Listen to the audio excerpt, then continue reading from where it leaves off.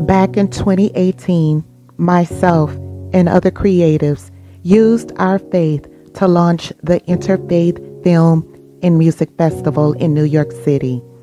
Out of shock, grief, and heartache, we watched year after year of news reports and social media posts on the increase of hate crimes against sacred spaces and the people who gather in them.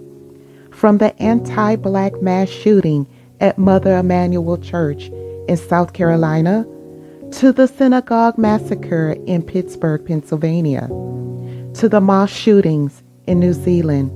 How could we be the change we wanted to see? By faith and in peaceful solidarity, we showcased our respective films related to different faith experiences, spirituality, meditation, and human justice issues, all to promote unity, harmony, and respect of each other.